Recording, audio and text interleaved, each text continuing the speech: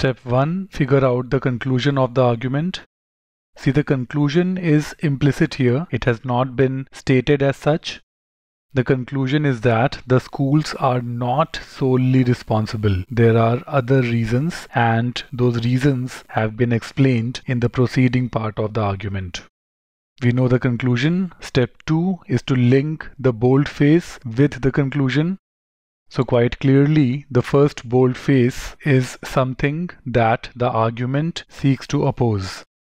So with that groundwork, let's look at the answer choices. No, the first boldface is not the argument's main conclusion. The conclusion is just the opposite of the first boldface. The boldface says that schools are solely responsible, whereas the implied conclusion is that schools are not solely responsible. So answer choice A can be very comfortably eliminated. No, it is not a finding that the argument tries to explain.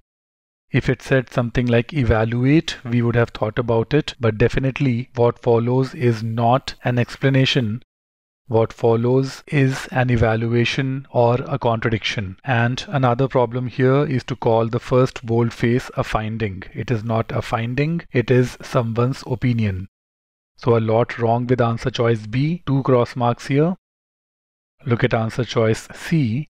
It introduces a judgment Yes, as I said, this is an opinion, a judgment. So a good term here in judgment opposed by the argument. Yes, that is what we have been looking for, that the first bold face has been opposed by the argument.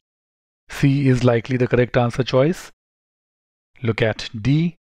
No, it is not an explanation that the argument concludes to be accurate. The argument concludes that the first boldface is not accurate. So D should be eliminated. Look at answer choice E. No, it is not an evidence, it is an opinion. Someone's opinion is generally not an evidence, and no, it is not supporting the argument's main conclusion. Two cross marks here. C is the correct answer choice.